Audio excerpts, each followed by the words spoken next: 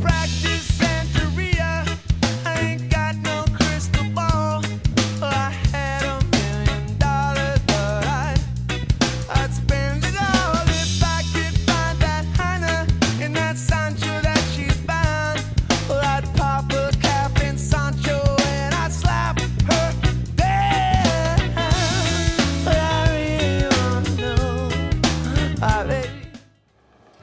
Hola, muy buenas y bienvenidos nuevamente a Materia Bis. Hace pocos días tuve la oportunidad de coincidir en la ciudad de Rosario en un evento que organizaba Banco de Galicia para sus clientes pymes eh, con una persona que no conocía y que despertó enorme interés en mí. Lo escuché a Federico Pucharielo en ese evento hablar delante de casi mil empresarios pymes contando su experiencia y la verdad que inmediatamente pensé, esa experiencia la tenemos que contar a una mayor cantidad de gente, a nuestra audiencia. ¿Qué tal Federico? ¿Cómo estás? ¿Qué tal, Manuel? Bueno, antes que nada te agradezco la presentación. Eh, y sí, la verdad que estuvo, fue un evento interesante de participar, con mucha gente potable y la verdad que me gustó mucho haber estado ahí. Estuvo bueno y sobre todo estuvo eh, bueno escuchar tu testimonio. Yo eh, lo que quiero contarle a nuestra, nuestra audiencia es que vos sos el fundador de una empresa que se llama Rosario Bioenergy. Correcto. Eh, pero además tenés, antes de fundar esta empresa, un recorrido muy, pero muy largo en el mundo del rugby. Viviste muchos años en Europa y te voy a pedir que nos hagas una especie de síntesis de tu desarrollo, historia personal para llegar a, a Rosario Bioenergy.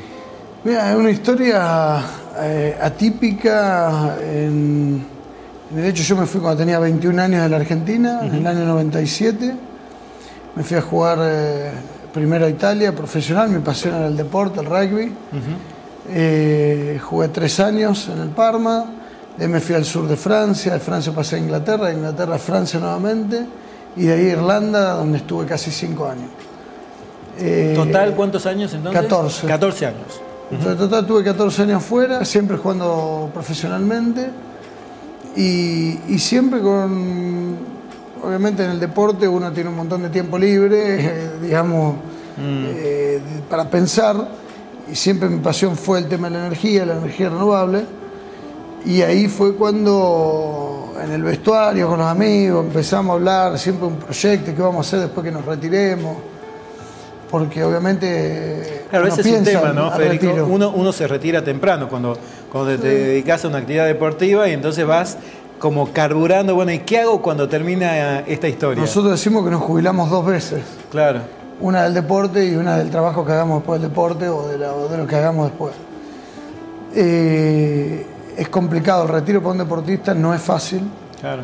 Eh, La reinserción, ¿no? No, no es fácil porque vos tuviste 14 años en una burbuja eh, que te llevan de un lugar para el otro, de un colectivo a un avión, de un avión a un hotel, del hotel a una cancha, de la cancha. Y realmente eh, no uno no tiene mucho contacto Claro. con el mundo de los negocios y se pierde la etapa del estudio. Ahora, en esa burbuja, ¿no? Porque me parece interesante un dato que vos me contaste cuando estuvimos hablando ahí en Rosario. ¿Cuánto gana un jugador profesional en Europa promedio? Digo, no, no, no ni el que más gana ni el que menos gana. Y tenemos un promedio hoy del alto nivel, estaremos hablando de 350 mil euros, hasta los que más ganan un millón de euros por año. Por año. Sea, Por año. O sea que pueden ganar más que en el fútbol. sí, que en el fútbol de muchos países ganan. Por ejemplo, en el fútbol de Francia, hoy un jugador de rugby en Francia gana más que un futbolista francés. Con lo cual te da capacidad de ahorro, obviamente. Sí, sí, los que, eh, a ver, hoy una carrera, el rugby ha crecido enormemente. Hoy un jugador a los 20 años que esté jugando en sección nacional en Europa ya tiene un salario de 300 mil, 250 mil euros al año, es muchísimo para un chico de 20 años que tiene 14 años por delante de carrera. Y además casi todos los gastos pagos, porque Todo. hace vida de concentración. No, todo, todo, además el Todo lo club cubre todo. Claro, Normalmente cubre los gastos tuyos, de tu familia, el vehículo, el celular, la ropa. claro. Eh, o sea que sí, obviamente, esos son los, los, los adicionales del claro. deporte. Es lo que te queda para el ahorro. Con El lo cual vos fuiste 14 años haciendo ahí un stock de, Sí, de- ahorro, cual. ¿para qué? Y ahí, ¿cómo viene entonces el tema de la, bioenergía? siempre estaba eh, fanático con el tema de la energía y siempre renovable porque yo considero que la energía como energía en el planeta hay que eh, evolucionar como sociedad e ir hacia cosas más eh, balanceadas para lo que es el crecimiento demográfico. Entonces la energía renovable, con todas sus deficiencias, porque las tenemos, porque la verdad que no hay energía perfecta, y, y- y es muy difícil encontrar una energía eterna y renovable eh, que no contamine, es una utopía hasta el día de hoy, no se ha llegado. Pero siempre en la búsqueda de eso es mejor una energía que cada seis meses vos tenés la misma cantidad de energía que seis meses antes que una que todo barril que vos saqués de la tierra, vos sabés que ese barril no va a existir más. Claro. Entonces, eh, con ese concepto estudiamos, estudié yo particularmente, después le transmití a mi amigo, ¿qué hacemos? Bueno, hagamos un proyecto de energía. ¿Qué energía? Geo, eh, geotérmica, eólica, fotovoltaica, eh, biocarburante. Cuando empezamos con biocarburante me metí en el biodiesel, descubro el biodiesel y, y ahí empiezo a hacer un estudio de mercado, de, de dónde el biodiesel y por qué el biodiesel. Y había prácticamente dos grandes conceptos. O me arrimaba la materia prima, que era el aceite en aquel entonces, o me iba al cliente, que son petroleros, y la verdad que petroleras hay en todo el mundo. Y bueno, cuando hicimos la, profundizamos el estudio, nos dimos cuenta que Argentina era el primer productor de aceite de soja del planeta y que eso a nosotros nos da una ventaja competitiva muy grande. De hecho, todo esto eh, es un tema de mucha actualidad, visto las, las nuevas normas europeas al dumping y las denuncias de Argentina en la OMC, la Organización Mundial del Comercio, porque son normativas absolutamente injustas y, y proteccionistas, eh, con un intento de volver a retrotraer la industria argentina a ser un proveedor de materia prima y no de agregado valor. O sea que en definitiva eh, el objetivo europeo hoy es ese, es obtener materias primas baratas como han hecho en los últimos eh, 100 años. Eh, cuando los países del hemisferio sur empiezan a desarrollarse, empiezan a generar valor a sus productos y ya eso al norte le gusta un poco menos y empiezan a hacer cosas que nosotros, si las hiciéramos, nos catalogarían como De proteccionista. de proteccionistas, Claro, claro. denuncias. Claro, claro. Con lo cual, bueno, el gobierno actuó firmemente, hubo una denuncia, eh, el canciller Timerman habló ayer, presentó una carta a la Cancillería, a la OMC y una denuncia formal. Y bueno, hoy todas las cámaras del biocombustible estamos intentando de eh, consensuar una solución común. Federico, para concretamente que era una restricción al ingreso de biodiesel. Es una restricción, eh, pusieron un dumping, un- le pusieron eh, un- una retención al revés, un impuesto a la importación del biodiesel argentino y asiático. ¿Por qué? Porque obviamente Asia tiene aceite de palma muy barato y puede producir biocombustible muy barato. De todas formas, y, y me parece perfecto esa reacción y me parece muy bien que vos lo expliques de esa manera, porque la verdad es que hay países que muchas veces proclaman muchísimo la libertad hasta que le toca el bolsillo, ¿no? Y en ese momento se cierra y dicen, no, hay que proteger, y, y al revés, cuando otro protege, critican. Pero también entiendo que todo tu mercado es, es local. O sea, el, nuestro, el nuestro en particular sí, pero no el de la industria, o sea, de la capacidad de producción de Argentina. del agregado. De claro, toda la Argentina produce 4 millones de toneladas, tiene una capacidad instalada de 4 millones de toneladas de biodiesel. Eh, un millón más o menos, entre un millón y un millón coma dos, van al mercado interno. Todas las pymes están en el mercado interno porque las pymes se crearon para el mercado interno, como el caso nuestro, con lo cual a mí no me afecta el tema ese en nuestra empresa. Claro.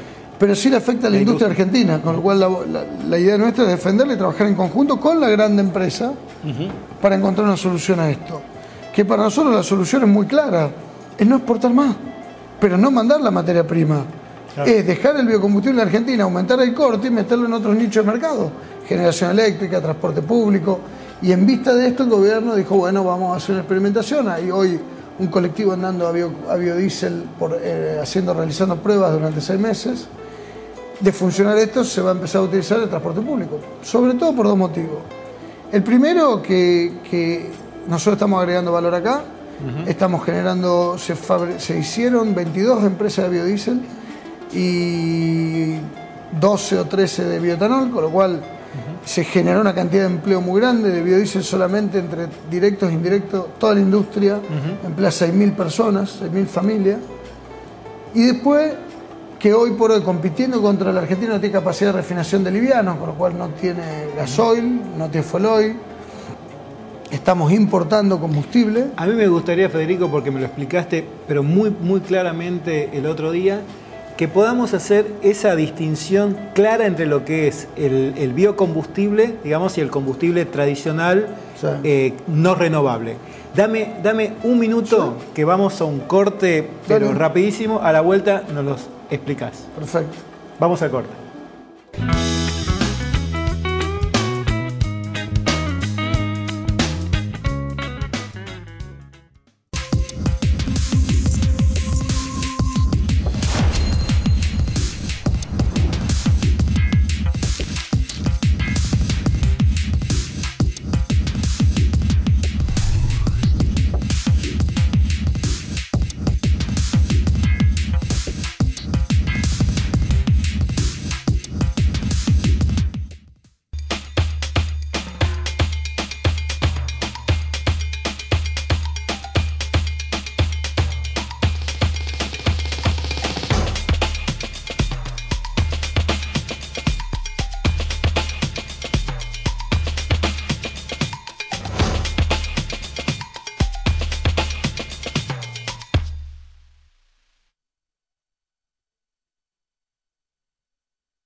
Ser dueño de tu propio negocio es pensar en grande. Por eso te presentamos Galicia Negocios y Pymes, una propuesta que entiende tus necesidades y te brinda soluciones concretas con el mejor asesoramiento. Llama al 0810-777-3777 o ingresa en bancogalicia.com barra negocios y pymes. Galicia Negocios y Pymes. Buenos negocios.